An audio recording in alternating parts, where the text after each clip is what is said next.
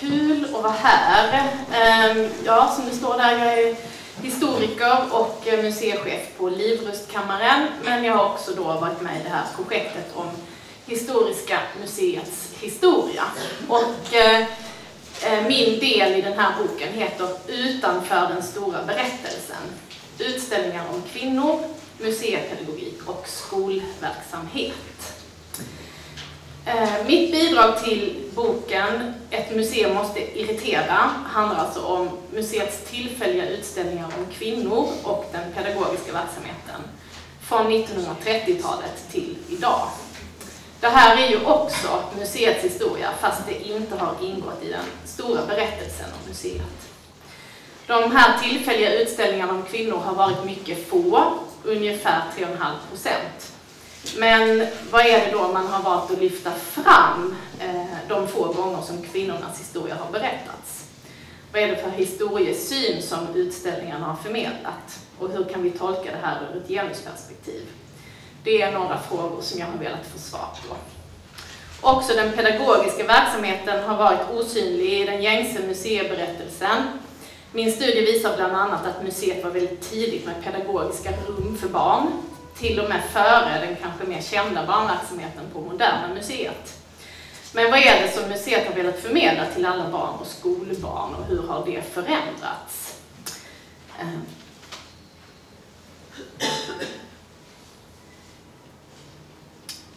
Ehm, jag har valt ut fyra utställningar om kvinnor som jag studerar närmare. Två, om då, två handlar om kvinnor i en religiös kontext och två från en världslig kontext och de spänner över en tid om ungefär 100 år.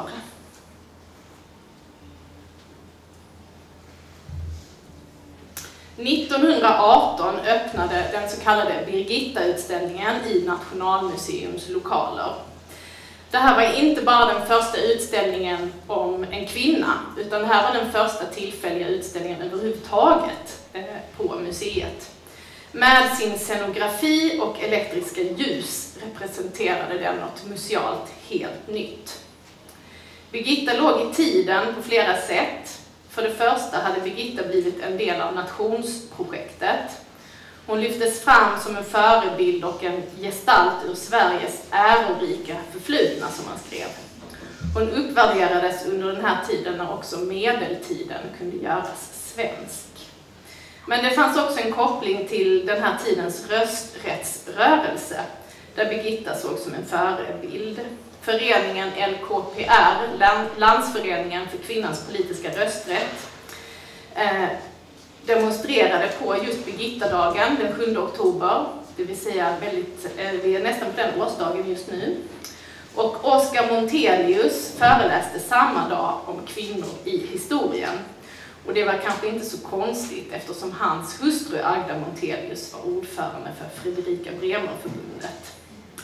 Det finns ju också en etablerad koppling mellan just rösträtt för kvinnor och nationsskapande. Länder som har velat skapa en nation har ofta varit tidiga med rösträtt, som till exempel Finland eller Australien. Och i Sverige fick kvinnor rösta första gången 1921. Så här ser man ju den här tydliga kopplingen eh, med Birgitta och nationsprojektet under den här tiden.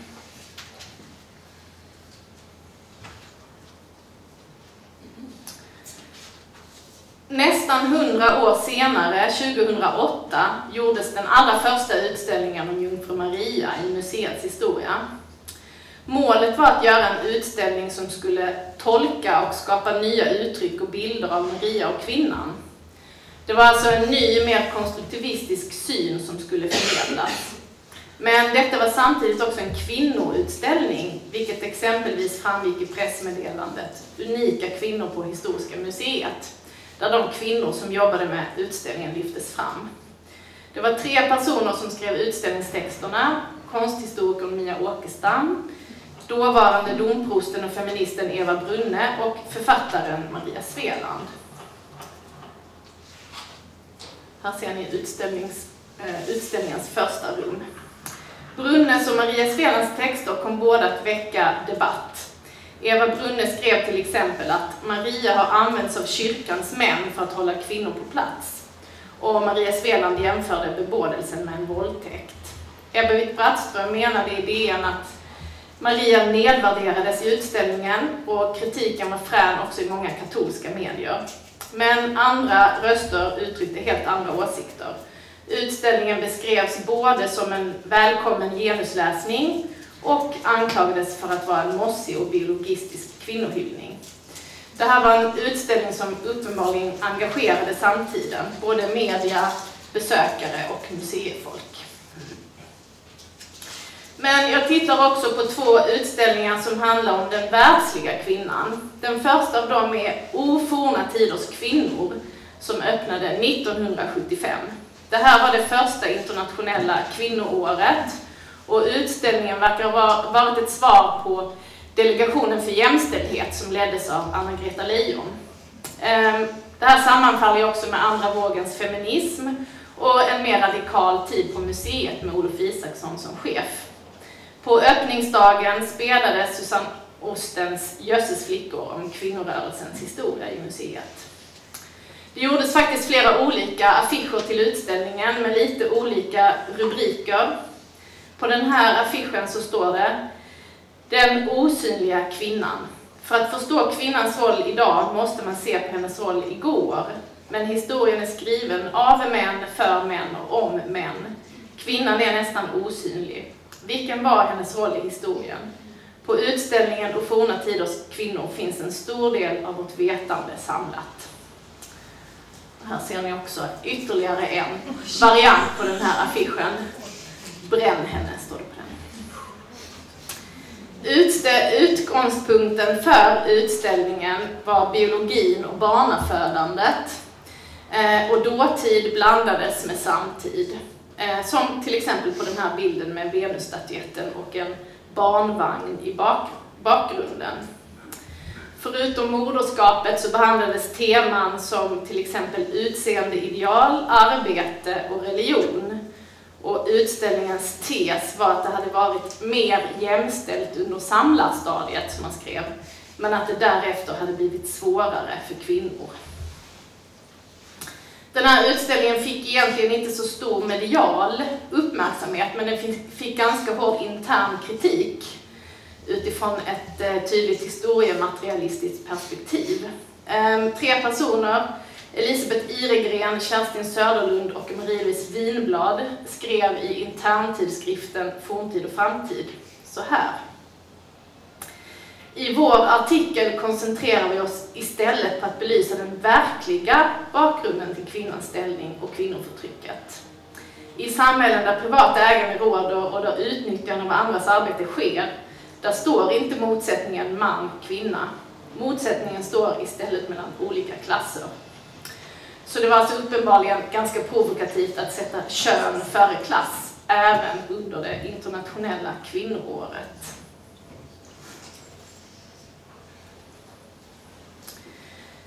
Ungefär 20 år senare, 1997, så öppnade den här utställningen Den starka kvinnan från völva till häxa. Den här bilden av Tuija Lindström med texten Häxjakten fortsätter blev utställningsaffischen. Utställningen drev tesen att kvinnor i det förkristna samhället kunde vara starka, att det under vikingatiden utvecklades patriarkala drag och att kristendomen slutligen satte stopp för kvinnors självständighet med kulmen i häxprocesserna. Och så här stod det i en av utställningstexterna.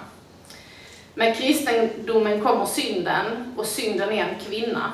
Detta är historien om den starka kvinnan, för hon var ju stark. Varför skulle hon annars brännas? Själva utställningen var uppbyggd kring fyra olika kvinnor som var gjorda som dockor, som ni ser här. Ehm, här ser ni jungfrun, völvan och häxan. Ehm, och den fjärde kvinnan var husfrun. I slutet av utställningen så fanns det också bilder på kvinnor i samtiden, som Eva Dahlgren, Mona Sahlin och Hel Helene Welton bland annat, som alla bröt normen och hade stämplats som häxor i sin egen tid. Den här utställningen den retade upp många kristna, främst katoliker. Anders Pilz skrev flera kritiska inlägg mot tesen om kristendomens kvinnosyn och han fick svar bland annat av religionshistorikern Britt-Marie Näsström. Men hur ska vi nu se på det här med utställningar om kvinnor ur ett genusperspektiv? Ja, jag vill ju poängtera att anlägga ett genusperspektiv inte innebär att lyfta fram just kvinnor i historien, utan att problematisera konstruktionen av både manlighet och kvinnlighet. Som Ingalill Aronsson och Birgitta Mörling skriver, ty även männen har ett kön, även om detta så länge utgjort den självklara normen att det osynliggjorts. Då går vi över till eh, mitt avsnitt om museipedagogik och skolverksamhet. Eh, jag har studerat museets skolverksamhet eh, under tre olika perioder kan man säga. Eh, 50-talet, 70-talet och 2000-talet. Och hur kan man då karaktärisera den här skolverksamheten under de här tre perioderna? Ja, på 1950-talet så stod artefakterna i centrum. Eh, barnen skulle studera de här föremålen så noggrant som möjligt, framförallt genom att titta på och rita av föremålen. Det här var ett mycket medvetet pedagogiskt grepp. Så här stod det i en beskrivning av ett pedagogiskt upplägg för en lektion, som man kallar det. Det är alldeles omöjligt att rita av en harpun utan att ha sett på den. På 1970-talet påverkade den nya läroplanen, Lgr 69, museets sätt att arbeta. Nu skulle eleverna aktiveras genom grupparbeten. Det var inte längre enskilda föremål som gällde, utan teman av olika slag, som till exempel handel, vikingasagor och gärna med koppling till vår egen tid.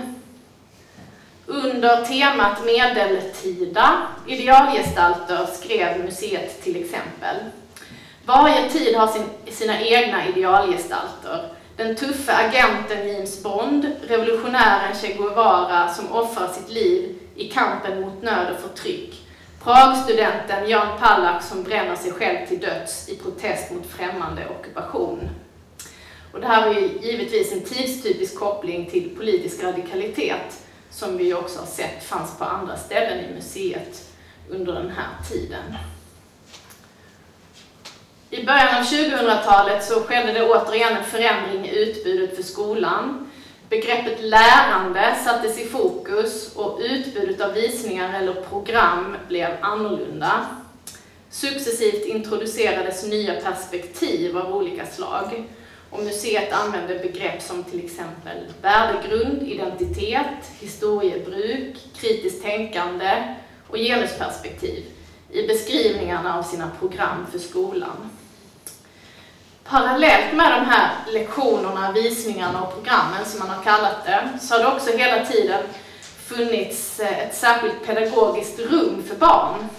1964 öppnade Barnens rum där man kunde få ta på föremål och prova hantverk. Och det här är som jag sa väldigt tidigt. Och Moderna Museet som åtminstone ofta själva framställer sig som pionjärer inom barnpedagogik inom museivärlden öppnade sin verksamhet först tre år senare, 1967. Praktiska inslag har eh, funnits parallellt alltså under hela tiden och där det här arkeoteket kanske är en av de eh, senare exemplen på det. Så jag menar att det går att se två parallella spår i det här pedagogiska. Ett mer föränderligt, där skolvisningarna har gått från föremål via grupparbeten och till perspektiv. Och ett mer beständigt som handlar om att känna på föremålen och arbeta med hantverk. Så precis som i utställningen om kvinnor så kan vi se en eh, ganska tydlig koppling till samtiden. 1940 och 50-talets folkbildningsideal grundat på kunskap om föremålen. 70-talet där medborgarna skulle aktiveras till politisk handling och 2000-talets nya perspektiv och mer konstruktivistiska anslag. Och det var det jag skulle säga.